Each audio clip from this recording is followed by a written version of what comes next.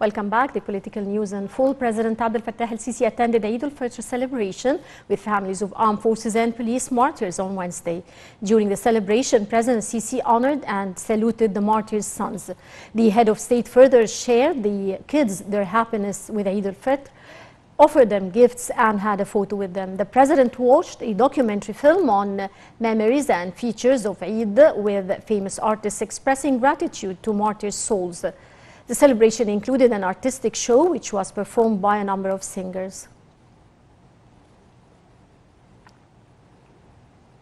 Earlier in the day, President Sisi attended Eid al-Fitr prayers at the Mosque Mosque at the Islamic Cultural Center in the new administrative capital. The president was accompanied by a number of senior state officials.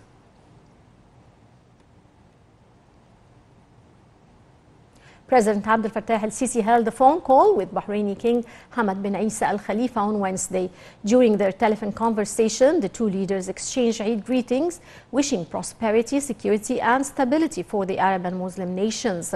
Also on Wednesday, President Sisi held other phone calls with Iraqi President Abdul Latif Rashid and Jordanian monarch Abdullah II. Earlier, President el-Sisi had phone talks with United Arab Emirates President Mohammed bin Zayed Al Nahyan, Algerian President Abdul Majid Tebboune, Tunisian President Kais Saied, Syrian President Bashar al-Assad, Palestinian President Mahmoud Abbas, Kuwait's Emir Sheikh Meshal al-Gaber al-Subah, Qatar's Emir Tamim bin Hamad Al Thani, and head of Sudan's Sovereignty Council Abdel Fattah al-Burhan. Meanwhile, the president received a phone call from Iraqi Prime Minister Mohammad Shia Sudani. President Abdel Fattah el-Sisi exchanged congratulatory messages with kings, presidents, and emirs of Arab and Muslim nations on the occasion marking Eid al-Fitr or the Lesser Bayram. In his messages, President Sisi expressed his wishes for the Arab and Muslim leaders and their peoples with good health, prosperity, progress, and stability. Meanwhile, the head of state sent other cables of congratulations to Egyptian embassies, consulates, and expatriates, wishing them all success and progress. The president also received congratulatory messages from senior state officials who expressed their sincere wishes for him with good health and for Egypt with more prosperity and progress.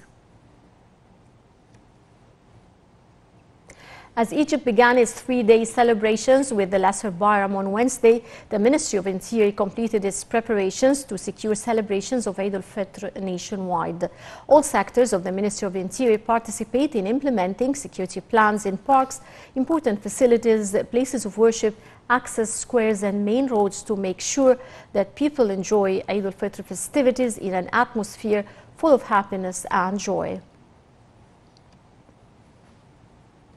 Amid Egypt's efforts to alleviate the suffering of Palestinian brothers in Gaza Strip, Egypt's Air Force continued to airdrop humanitarian aid on the besieged territory.